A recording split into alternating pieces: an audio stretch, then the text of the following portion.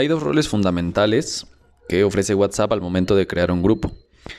Eh, este es un grupo de un curso llamado Introducción al Derecho Electoral. Yo le pedí a alumnos y alumnas que se incorporaran por medio de un link y así lo fueron haciendo. En otro de nuestros videos puedes ver cómo realizar esa acción.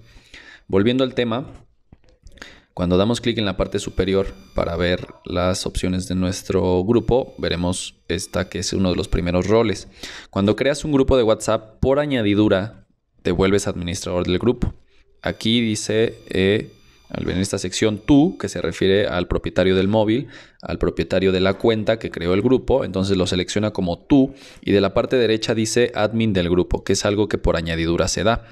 Podemos crear otro eh, administrador dando clic en el contacto, dejando sostenido el clic y nos aparece una opción enviar mensaje a Daniel, ver perfil de Daniel, hacer administrador del grupo, eh, eliminar a Daniel o confirmar código de seguridad. Si le damos clic en hacer admin del grupo, veremos que también en la parte derecha del contacto ahora ya dice admin del grupo.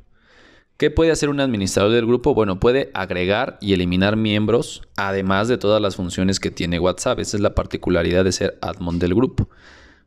Eh, lo que puedes hacer también al crear un grupo es, como lo vimos, nombrar otros administradores.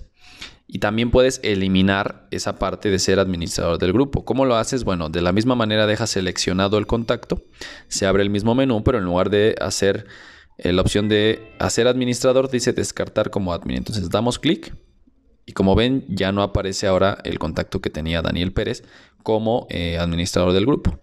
Entonces, como ven, es muy sencillo. Uno puede ser simplemente un miembro del grupo o puede ser un administrador con esa función eh, en particular.